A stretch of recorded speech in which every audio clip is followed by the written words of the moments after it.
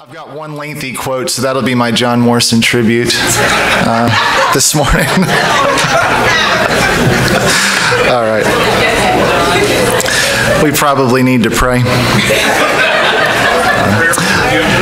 It, it, will, it doesn't probably involve forgiveness. Let's uh, let's pray, and then we'll get into uh, Galatians three, which I think is pretty cool. Father, thank you so much for uh, what you're doing here in our midst. Thank you what you're doing in our uh, community. Thank you for your word, uh, your truth.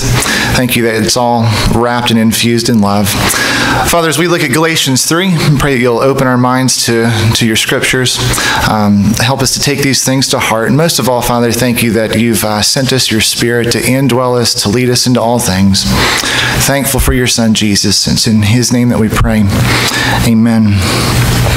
All right, you may turn in your Bibles to Galatians 3, but I'm going to give us a recap of where we've come from uh, before we get into the content there. And it's interesting, um, in the context of what John was sharing um, with the Martin Luther quote, Galatians is Paul taking the gospel and addressing a very specific point of argument uh, that's, that's come about as a result of this situation uh, in Galatia. So there's, there's these false teachers, rival teachers, um, trying to compel Jews to be Gentiles. Paul takes the gospel and addresses that exact point. And I also thought the uh, Al Mohler quote was interesting about revolutions. There's a slow buildup and then it happens very quickly.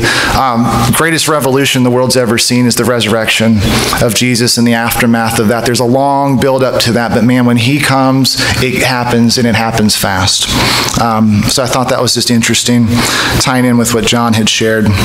But the resurrected Jesus encounters Saul of Tarsus on the road to Damascus. He reveals himself to be Israel's long awaited Messiah. Like all the Jews, Saul of Tarsus had awaited certain promises, um, certain expectations, finds out that actually they had all happened. They just didn't happen in the way that they had expected them to happen. Um, Paul goes off to uh, Arabia for about three years. You can imagine him poring over the scriptures again. And for somebody who knew these things backwards and forwards, I bet it was like just reading them completely fresh and new in light of Jesus and seeing um, things that were always there that he just hadn't seen in the same way. He goes to Jerusalem where he gets acquainted with Peter and James for about two weeks. And again, I'm sure Peter's able to fill in some gaps, uh, account some stories, personal stories with Jesus. I'm sure that enhanced both Paul and Peter with their time together. However, while they were there, oh, sorry, yeah, while in Jerusalem, he confirms two, uh, let's see, nope, there's two Jerusalem trips. That was Jerusalem number one. Jerusalem uh, number two, Paul is sent from Antioch. Remember, Agabus gives this prophecy about a coming famine. The church in Antioch sends relief money to Jerusalem. So Paul and the buddies come around, they get to Jerusalem. He confirms that the gospel that he's been preaching is consistent with theirs. However, while there, there are some false brethren that stir up trouble by trying to compel Titus, who is a Greek, to get circumcised.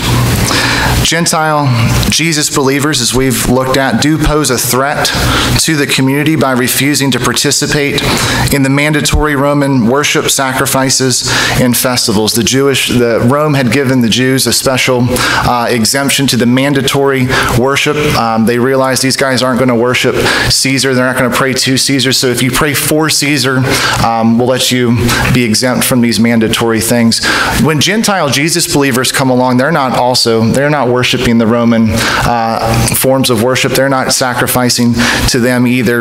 Um, you can claim a Jewish exemption, but what's the problem? How are they supposed to? The, the Jewish neighbors and the Roman neighbors. Nobody's going to look at them and say, "Well, what's Jewish about you? Why would you give you? Why would we give you this exemption?" It's very problematic. And uh, to the point, John, that you were making about tearing down arguments, it's, it sounds like a good argument to say, well, isn't the loving thing to do for your neighbor to get circumcised, keep us safe?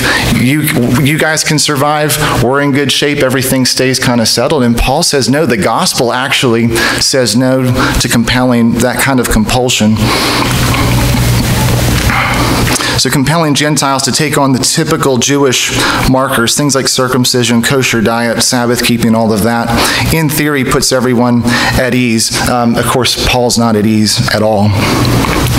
He, he'll have none of that because he sees such compulsion as a denial of the gospel itself. Through Jesus, through his death, Jesus had conquered the power of the idols. All right, we sang about that this morning. He conquers the power of sin and death. So, sin and death, those are the chains that enslave us to idols. We're set free. Gentile Jesus, uh, the Gentile Jesus believers are no longer considered idolaters and therefore unclean. Their status is righteous. Through his resurrection, Jesus inaugurated God's new age. So, in his resurrection, God's new age now overlaps with what the Bible would call the present evil age. And living in that new age means coming out of the old. To compel Jesus believing Gentiles to take on Torah prescribed markers is to take them back to that present evil age. It's the equivalent uh, in Paul's mind of Israel being free from Egypt and then going back. Paul defends Titus. The Jerusalem leaders concur. They add nothing to Paul and his message um, except to say, uh, continue to you know think about the poor, and Paul was already on top of that.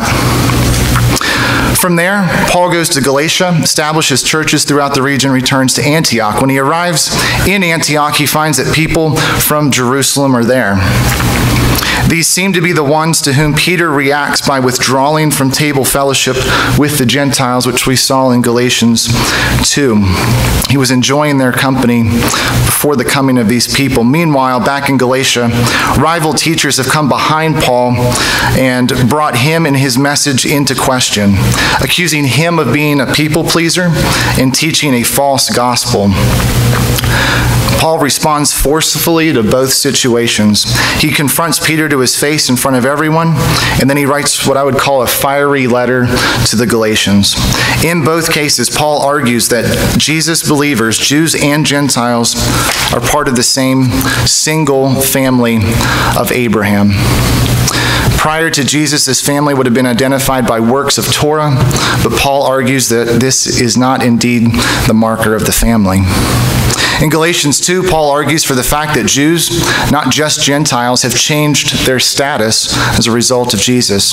They've been declared righteous on the basis of faith, not works of the Torah. One of the things that Paul said there was, For through the law I died to the law so that I might live to God. I had to come out from under Torah in order to do this. For Jewish Jesus believers, their identity is now Jesus and his faithfulness, not the Torah and its prescribed markers. For the Gentile Jesus believers, their identity is now Jesus and his faithfulness, not their now defeated idols. So the question that Galatians wrestles with is who are Abraham's true children? And the answer is not those who are circumcised, but those who share faith in the sense that we saw last week. And I love that definition that we saw from Teresa Morgan. Faith is a relationship which creates community, sustains communities as an embedded in social practices and institutions. All right, so that's kind of the whirlwind that gets us up to Galatians 3. Um, Paul launches into an, the next stage of his argument that the Jesus um, believing Gentiles are already full, recognized members of Abraham's family, so they don't have to add anything else. And in addition to that, he has to argue this in such a way that these believers can claim the Jewish exemption. Paul's got a tall order to do here. This is a this is an it's like how are you going to pull this one off? And I like here's my tribute to John writes says uh, this is just kind of a summary of what we're dealing with with chapters 3 and 4 Wright says God always envisioned an ultimate worldwide Abraham family marked out by faith.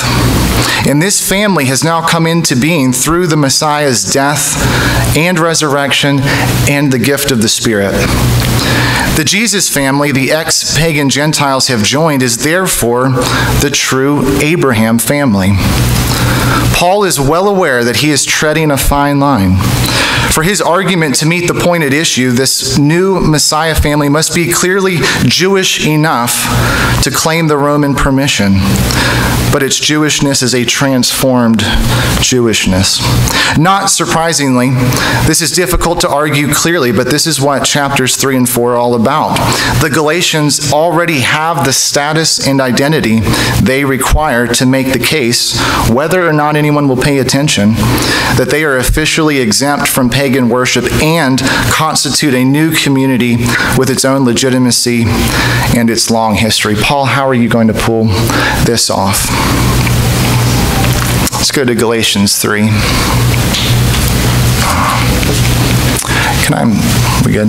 Thank you. We'll start in verses 1 through 5. Paul comes out, Brian, without the velvet. you witless Galatians. Who has bewitched you? Messiah Jesus was portrayed on the cross before your very eyes. There's just one thing I want to know from you. Paul's going to now ask four rhetorical questions. One thing he wants to know Did you receive the Spirit by doing the works of Torah or by hearing and believing? Are you so witless you began with the Spirit and now you're ending with the flesh? Did you really suffer so much for nothing if indeed it is going to be for nothing?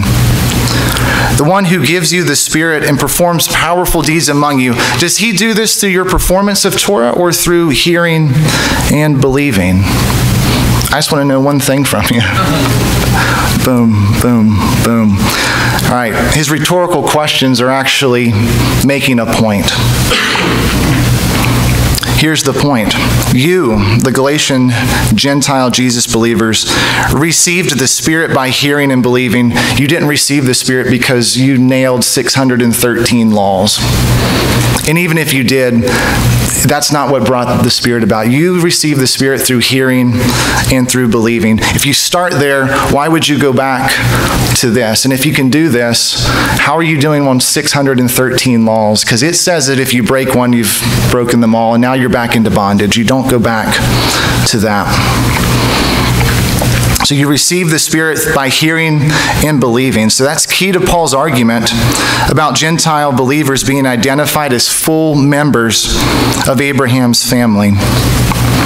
All right, I'm going to send you on a Bible drill situation. Uh, Romans 8:23. Let's go there. Actually, I'm on this too because I don't have this one written down. Romans 8:23. We're going to look at a couple things that uh, Paul says about the Spirit. Some of the terms that he uses when he refers to God's Spirit being with believers. Romans 8 23. Paul says, and not only this, but we, uh, but also we ourselves, having the first fruits of the Spirit, even we ourselves groan within ourselves, waiting eagerly for our adoption as sons, the redemption of our body.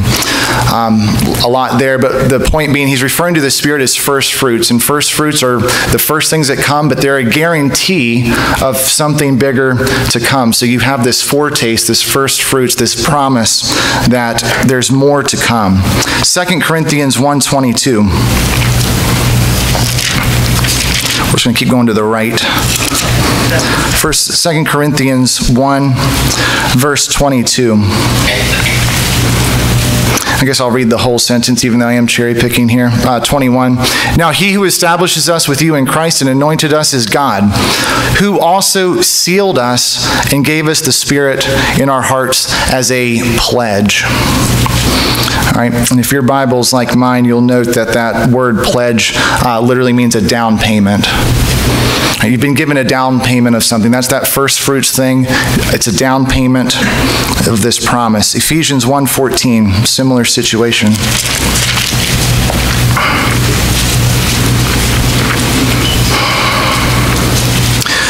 Hard to find Paul starting a sentence and not reading a whole chapter. I'm just going to read verse 14 in its in its isolation there. Um, says that the Holy Spirit of promise, and it describes the Holy Spirit as the one who is given as a pledge of our inheritance with a view to the redemption of God's own possession to the praise of his glory. That word inheritance is important. Quiz question Who gets an inheritance? An heir. Okay.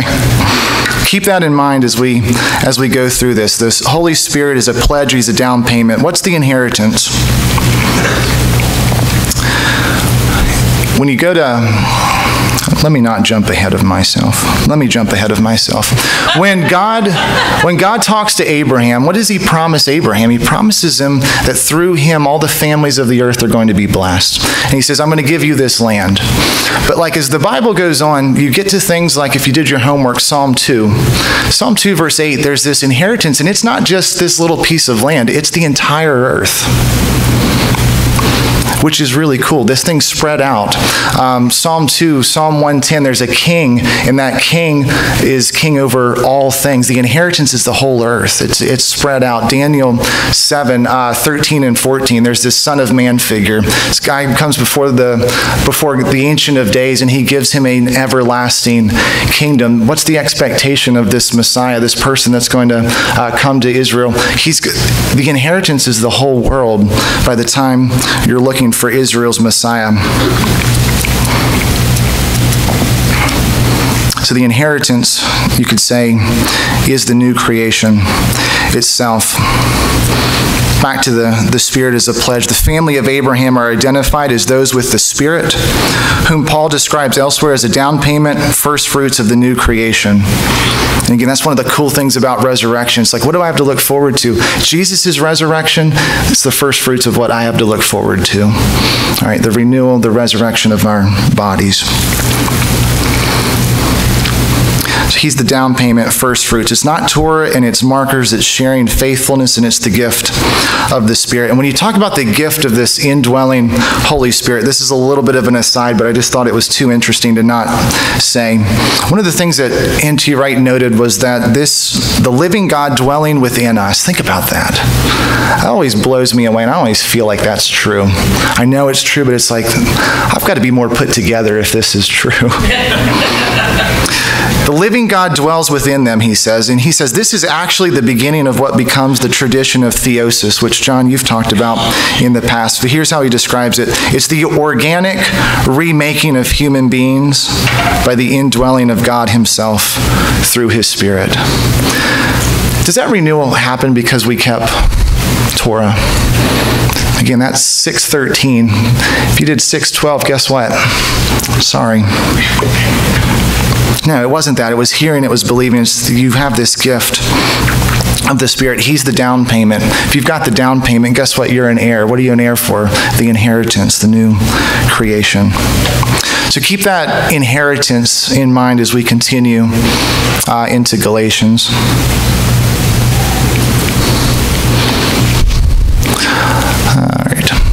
I'm sorry, I'm failing to have another slide. Thanks. Uh, verses uh, 6 through 9. Paul continues It's like Abraham. He believed God, and it was counted or reckoned to him for righteousness. All right, and I've put the uh, verses that he's quoting in the Old Testament in brackets there. He believed God, and it was counted or reckoned to him for righteousness. So you know it's people of faith who are children of Abraham. The Bible foresaw that God would justify the nations by faith, so it announced the gospel to Abraham in advance when it declared that the nations will be blessed by you. That is really good news, by the way. That is gospel good news. Through your family, families of the earth are going to be blessed. So you see, the people of faith are blessed along with faithful Abraham. All right, do you see what Paul's doing here? This is that. How do you define this new thing in the context of its uh, redefined Jewishness? And I think the key is this phrase, reckoned to him for righteousness. That's an important phrase. And the way Paul understands it is important too. The way we typically hear about this is that it's kind of like a moral bank account. Uh, I'm, I'm immorally depleted. Jesus is morally perfect. He transfers, it's like a wire transfer over to us, and we, we have his stuff. Um, there might be something to that, but that's not really what Paul uh, and some of these first century guys are thinking. Reckoned to him as righteousness is referred to, uh, refers to two people in the Old Testament. One is Abraham, and who did we say the second one was? Do you remember? It's Phineas. Phineas, the guy that stabs the, um, the guy and the lady who were um, idolatrating, is that a word? Um, Moabite. All right, it's a weird situation. He's sort of a minor uh, character, but uh, I'll read this in a second. Numbers 25. is where we've read this account before, but after the incident, so Phineas is on zeal for the Lord. Uh, by doing what he did, he stops a plague. And here's what God says about Phineas in Numbers 25, verses 12 through 13 Behold, I give Phineas my covenant of peace, and it shall be for him and his descendants after him a covenant of a perpetual priesthood, because he was zealous for his God and made atonement for the sons of Israel. As a result of Phineas's zeal, the Lord makes a covenant with him, and that covenant is for him and for his descendants forever. It's a covenant of a perpetual priesthood. If you want to go to Psalm 106,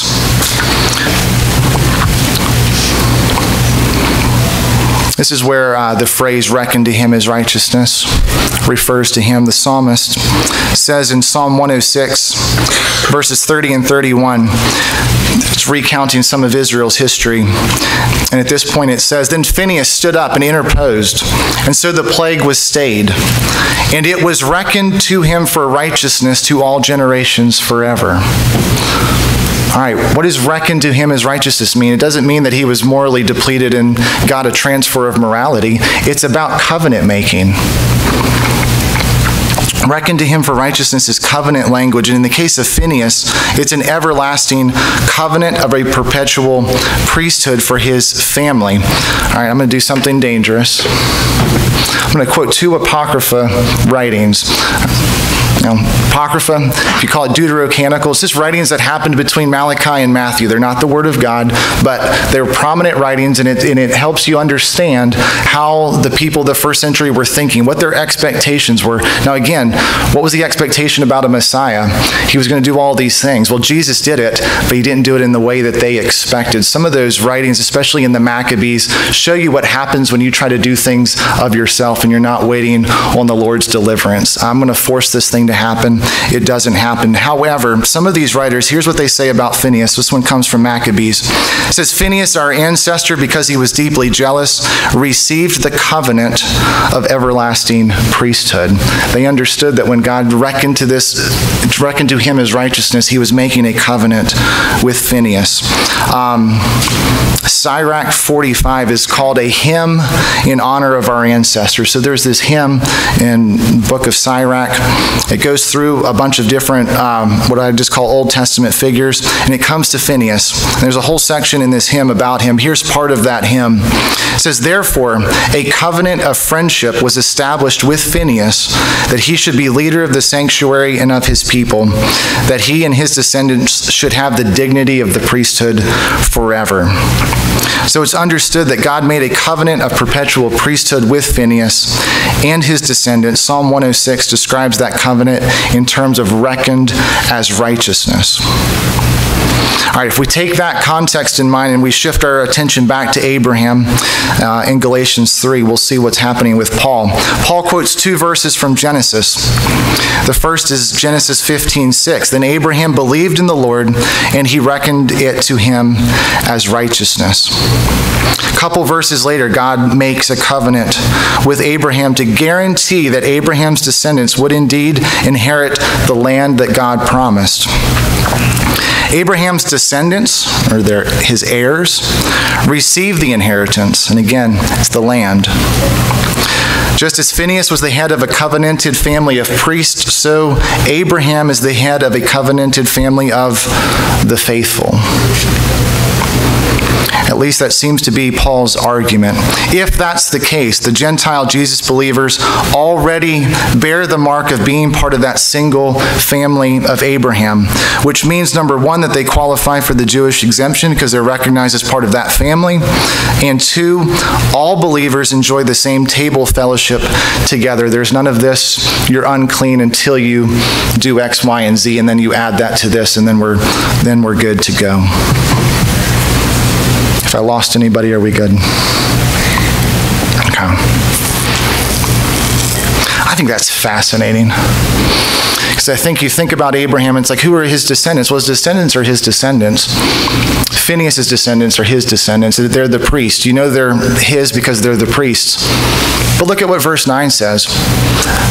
You see the people of faith are blessed along with faithful Abraham. He, his faith was in God. God reckons that to him as righteousness. So the covenant is about this faithful thing.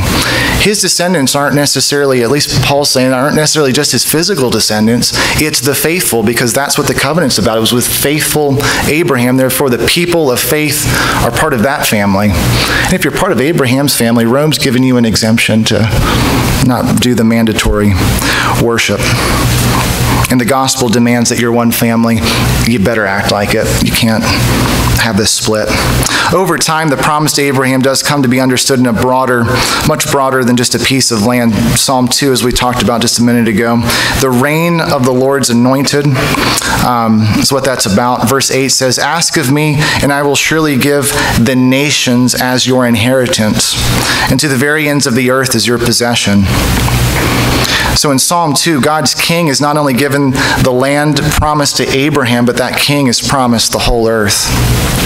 It's consistent with that Son of Man figure that we talked about in Daniel. It says he was given dominion, glory, and a kingdom that all the peoples, nations, and men of every language might serve him. This dominion is an everlasting dominion which will not pass away, and his kingdom is one which will not be destroyed. That's good news. If we read Genesis 15 6, all right, he believed God and it was reckoned to him for righteousness. In light of things like Psalm 2 and Daniel 7, then we see that the inheritance extends far beyond a narrow piece of land in the Middle East. In this sense, Abraham's descendants inherit the whole earth, which again is consistent with that second verse that Paul quotes from Genesis. Nations of the earth will be blessed in you.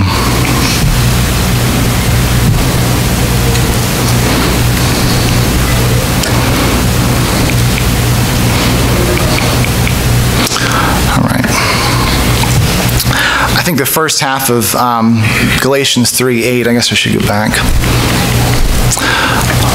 The Bible foresaw that God would justify the nations by faith, so it announced the gospel to Abraham in advance. Um, God is going to declare the Gentiles righteous by faith. And again, that's the good news announced to Abraham. And so Paul quotes Genesis 12:3, "In you all the families of the earth will be blessed." And if you want a formula, I think here's the formula. The the solution to Adam's sin is Abraham's family. The solution to Adam's sin, what happens when Adam sins? Um, this whole bring the earth under the dominion of the Lord project goes off the rails. Right, that's what Adam's, that's what we're created to do. We're created to have dominion over the earth, to bring about its flourishing. Right, Adam's sin prevents that from taking place. What's the solution to Adam's sin? It's Abraham's family inherits the earth. And that family was always promised to be multi-ethnic, and Paul argues that they're identified by that, um, that Greek word pistis, faith or faithfulness. And they are blessed along with faithful Abraham, the head of that covenant family of the faithful.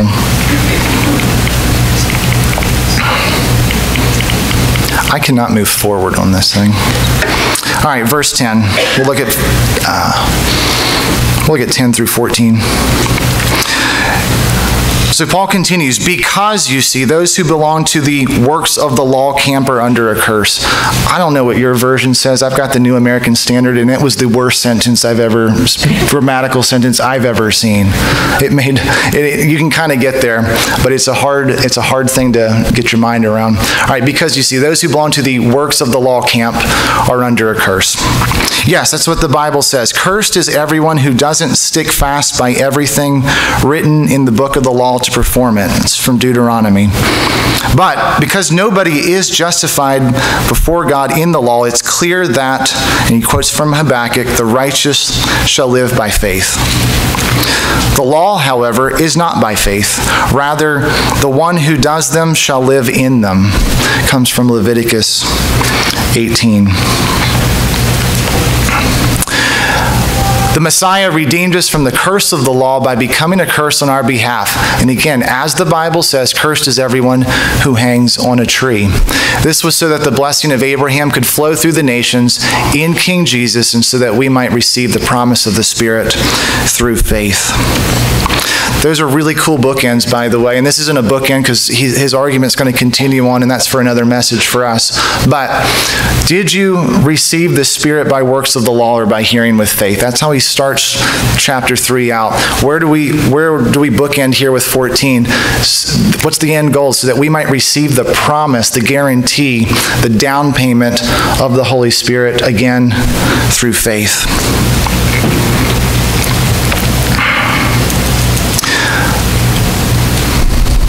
If you go to Deuteronomy 27, we'll look at verse 26 there. So, Paul, again, I, you can imagine, again, after that encounter with Jesus, Paul went back to all this stuff, and I think these things meant something to him that they didn't mean before Jesus encountered him. Here's what, here's what Deuteronomy 27 says, and by the way, 27, 28, 29, you're looking at a lot of cursing, not swear words, just like bad things that are going to happen as a result of faithfulness. And, and Moses lays it all out. Here's, here's where this goes. Here's how this ends. Verse 26 in, in chapter 27 Cursed is he who does not confirm the words of this law by doing them. And what did everybody say? Amen. 613. You committed to it. There's this cool thing, though, about the bad news is never the end of the story. Right? What does Clay always say? The best is yet to come. Deuteronomy 30, I don't know if you have a title in yours, but mine's titled Restoration Promised. Deuteronomy 27, 28, 29. If you're, faith, if you're faithless, here's, here, here's what happens when you're faithless. But chapter 30 is always around the corner. If you're living in a time where you're living in Deuteronomy 27 through 29, which they're doing right before Jesus, what's the hope? What's the promise? Deuteronomy 30's got to be right ahead. You always have this thing to look forward to. And Paul's saying this thing happened. How did that thing happen? It says, Cursed is everyone who doesn't stick fast by everything written in it. Verse 11, but because nobody is justified before God in the law, it's clear that the righteous live by faith. Law, however, is not by faith. The one who does them shall live in them. No one's declared righteous by keeping Torah because you can't keep Torah. So Torah binds you up. In some ways, it becomes a logjam to this promise that was given to Abraham because now you're bound to this thing. And in, in, in seeking to fulfill the law, the law tells you you're a transgressor. And now, if the family that's supposed to rescue is in need of rescue itself, what do we need? Well, we need a Messiah. Verse 13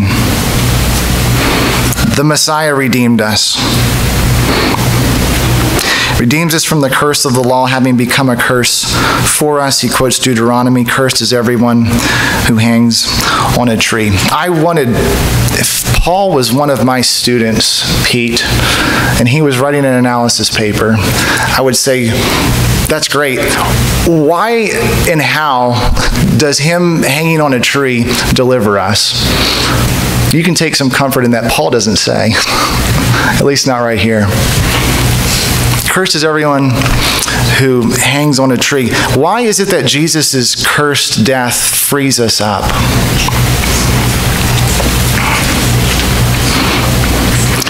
There were a lot of would be messiahs in Israel. And again, if you want to read a little bit about that, the Maccabees tried really hard, um, failed. But you have a lot of failed messiahs. What happens to failed messiahs in Rome? You crucify them. That guy isn't who he said he was. And we see this now because he was put to death and he died. Jesus is claiming to be a Messiah. He ends up on a cross. Was he a failed Messiah? How do we know he wasn't a failed Messiah? The resurrection. The resurrection says, uh uh-uh, uh, that's my Messiah. I think that's good news because otherwise that looks like a failure. Paul sees that. God declares, This is my Messiah because he raised him from the dead. And then Paul goes, Oh, this is how it was supposed to happen all along couple of things. What are you expecting from your Messiah? There was some different expectations about him. One is that he would attain this victory. Now, again, it wasn't the kind of victory, Jesus' victory wasn't the kind that they were thinking it was better, but they were, there was an expectation of a victory. There was also a, a, an expectation, I think this comes from Jeremiah, of a renewal. This renewed community, this renewed person, this circumcision of the heart thing. Some people thought this could be it. Um, some of the ones, John, like you, thought it would come through suffering. Messiah is going to suffer. What does Paul do? Paul actually took all three of those and sees that Jesus did all of these different, there were these different things. Jesus enveloped and wrapped all of them up. He defeats sin and death. That's our victory. He renews us. How does he renew us? Sends us His Spirit to indwell, revive us, lead us in all of life. How did that happen? It was the suffering love of God that accomplishes all of this. What does the Bible say? He achieved our redemption Redemption is a buying back situation, has all kinds of slavery connotations. It's rescue from the slave market. In Israel's history, that immediately goes back to the Exodus story. How were they released? Through Passover. What does the Messiah do? It's the Passover type of deliverance victory, renewal, suffering, love. And what's the goal? Verse 14. All of this was so that the blessing of Abraham could flow to the nations in King Jesus. When we think about the times we live in, don't ever lose track of that. Everything that happens here happens under here. All right, Jesus is King. And so that we might receive the promise of the Spirit through faith. As the blessing of Abraham goes out to the nations, so does the new life of the Spirit. So is that foretaste of an eventual inheritance. It's poured out on all Jesus believers. I think that's cool. One thing I think that we ought to think about occasionally do we ever think about ourselves as Abraham's children? I don't. I'm starting to rethink that. Yeah, Father Abraham, you do the song. That's a good song, maybe. Donna's offered to lead us in that next week.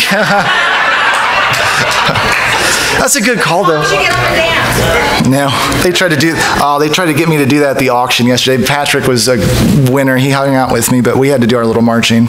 Um, blessing of Abraham. But again, do we ever think of ourselves as Abraham's children? Paul's argument hinges on us being Abraham's children. What does it mean to be Abraham's children? It means we live within that faithfulness. We're the children, the heirs of faithful Abraham. If we were to think that way, I was thinking, well, what's the point of that? We're God's children. I like that better. Um, both are true. But if I think about myself as Abraham's heir, his descendant, guess what happens when I go back and read the Bible? It's like, this is like family history. This stuff all of a sudden starts to hit really close to home, and all of a sudden is like, oh man, I'm wrapped up in this too. And I think that's a really helpful I think that's so helpful. So I think it should affect our reading, our understanding, our appreciation of the Bible, the people in it, and its message. And ultimately, this is an identity issue. Who are you? Child of God. Another way to think about that, child of Abraham, connected to the Messiah, living within his faithfulness, as Galatians 2.20 says. And again, all that to receive the promise of the Spirit through faith. That's exactly where we started. That's exactly where we end.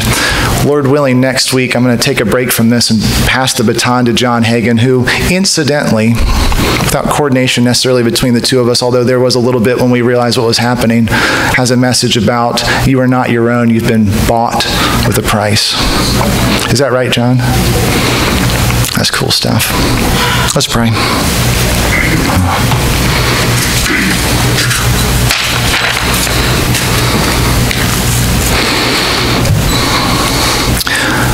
Father, I, I don't know what to say other than just thank you. Thank you for who you are. Thank you for pouring out your love on us. Thank you for coming in person to do what none of us could do, to do what Israel was not capable of doing. You took upon yourself and you freed us from the bondage that leads us to suffering and to death. And you did that through suffering and through death. Take that.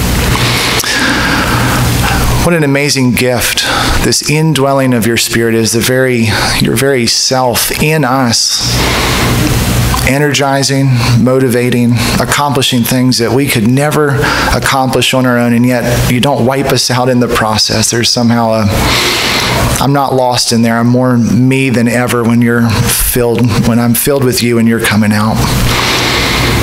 Lord, I don't know what to do with all these things, but I just pray that you will continue to just pour into us, Father, your truth, your wisdom, your spirit. I, we are living in dark times, and yet we live for a really high and light King. We do live in the light, Father, and I pray that that light will be very evident, um, impossible to deny, because you are the one in us. Uh, you're in this community, you're in us individually. What an amazing truth. I, I just pray that that will will have a powerful effect toward advancing your kingdom in our world. And uh, we thank you for this. I pray that as we go from here, we'll continue to dig deeper into your things. I pray that you'll bless John Hagin this week as he continues to refine and prepare for next week with this message. Um, we want everything that you have for us, Father. Give us uh, hearts and minds to receive it. In Jesus' name, amen. All right. We are dismissed. May Lord bless you all this week.